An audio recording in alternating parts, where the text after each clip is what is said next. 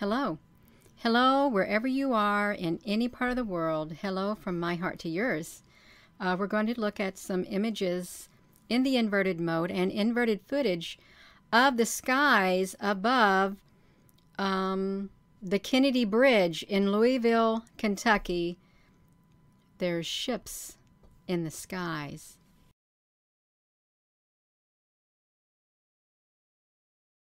Cloaked in the sky large UFO ship that is not of this world. It is bigger than any commercial airliner, any airplane that any country has on this earth. Look at this.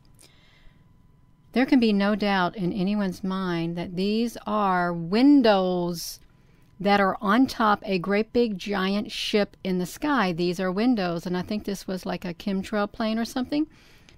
These are windows. Um, I'm going to share a lot of images of the windows of this ship that literally is parked in the western sky. It's massive.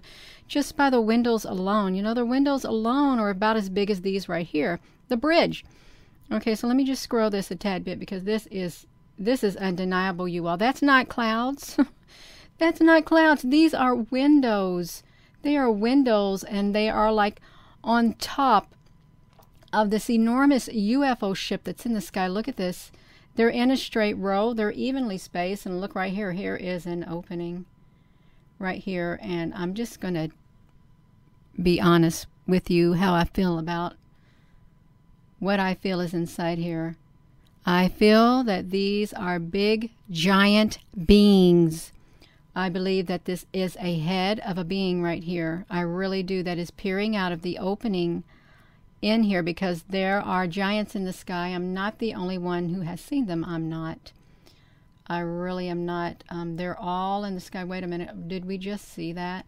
Look how perfect those windows are right here, y'all. Just look how perfect it is. And I don't know if they're shooting things out of those windows or not, but they're they're making contact with the opening of these windows, and I think there's a small being in, in here too. And please, please, please keep an open mind to what you're seeing, okay, you all?